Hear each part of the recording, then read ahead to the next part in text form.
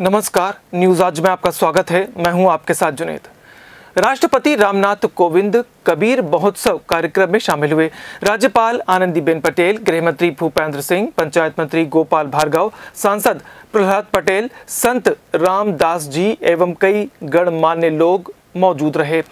इस मौके पर राष्ट्रपति कोविंद ने कहा कि संत शिरोमणि कबीर का उत्सव सागर में मनाया जाना बेहद उपयुक्त है। यहाँ संत कबीर जी का 300 साल पुराना आश्रम है।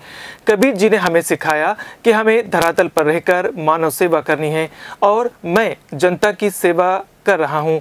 वहीं राज्यपाल आनंदीबेन पटेल ने कहा कि कबीर के दर्शन से हमें प्रेरणा मिलती है कि कैसे उन्होंने लोक कल्याण के लिए अपना जीवन समर्पित कर दिया।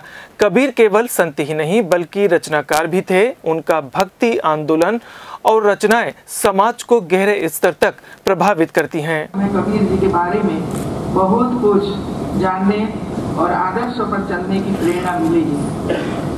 कबीर जी पंद्रहवीं सदी के भारतीय रहस्यवादी कवि और संत थे। वे हिंदी साहित्य के भक्तिकालीन युग में ज्ञानाश्रयी निर्गुण शाखा की काव्य धारा के प्रवर्तक थे।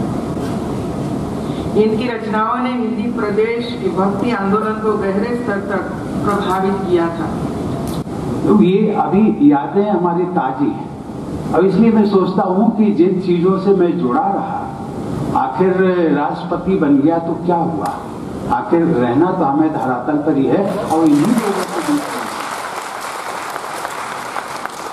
यही हमारे सब अपने हैं, यही हमारे सब अपने देशवासी हैं। इन्हीं की सेवा के लिए यदि मैं बना हूँ तो कुछ कर सकूँ तो इसको मैं अपना सौभाग्य समझता हूँ।